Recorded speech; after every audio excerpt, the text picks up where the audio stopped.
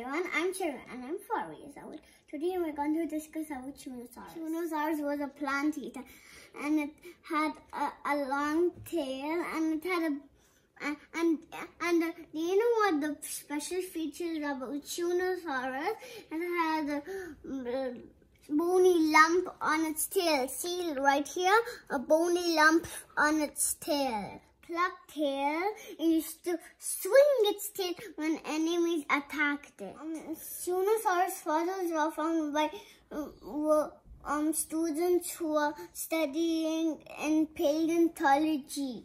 When some, uh, but long time, work, when workers were digging in China, they found so fossils about of sauropod. You know what a sauropod?